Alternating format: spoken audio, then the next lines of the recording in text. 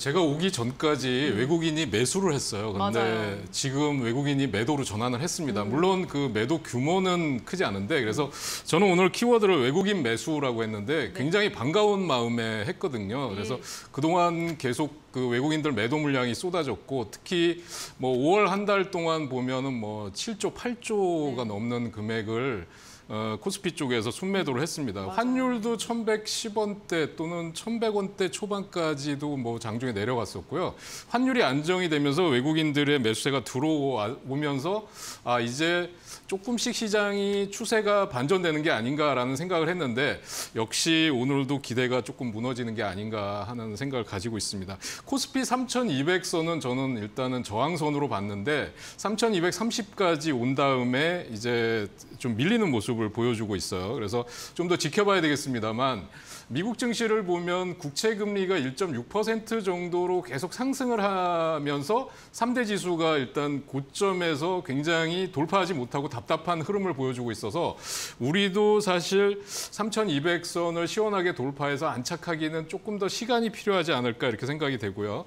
에, 인플레라든지 또는 지금 테이퍼링이 우려되는 거, 그다음에 6월 FOMC 회의라든지 뭐 이런 것들을 계속 확인해 봐야 되는 거기 때문에 시장 이 지수가 급등하거나 또는 급락하거나 이런 흐름보다는 박스권 내에서 움직일 것 같고요.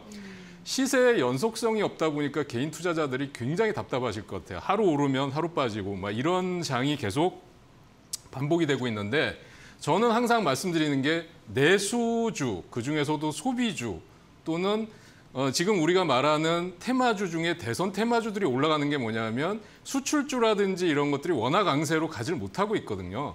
그래서 내수주로 지금은 집중해야 될 때- 때다 이렇게 말씀을 드리고 싶습니다.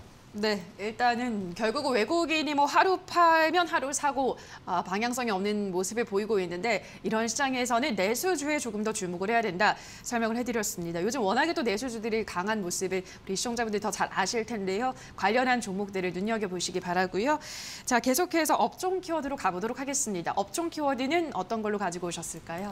어, 지금 이제 많이 보시어서 이제 앵커님들도 말씀해 주셨죠. 그래서 항공주들이 급등한다. 그런 게 이제 미국은 이제 백신 접종률이 50%를 넘어가다 보니까 이제 본격적인 여름 휴가, 그러니까 미국은 사실 지금 이번 주, 다음 주부터 본격적인 여름 휴가가 시작이 돼요. 미국은 그 동부나 서부 쪽이 워낙 땅덩어리가 넓다 보니까 이미 서부 쪽은 뭐 굉장히 날씨가 더운 상황이고요.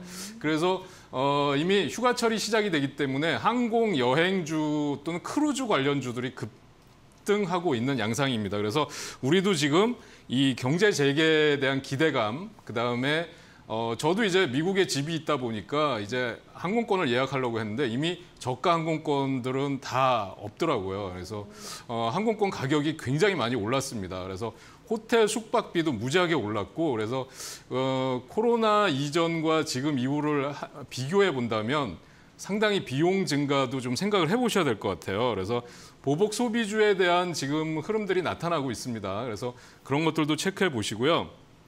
특히 우리나라는 이 어, 대한항공이 지금 거의 국적 항공사 중에서는 유일하게 되고 있죠. 아시아나항공을 이제 M&A를 하면서 그래서 대한항공의 시세가 조금 더 길게 이어질 수 있지 않을까 그렇게 보고 있습니다.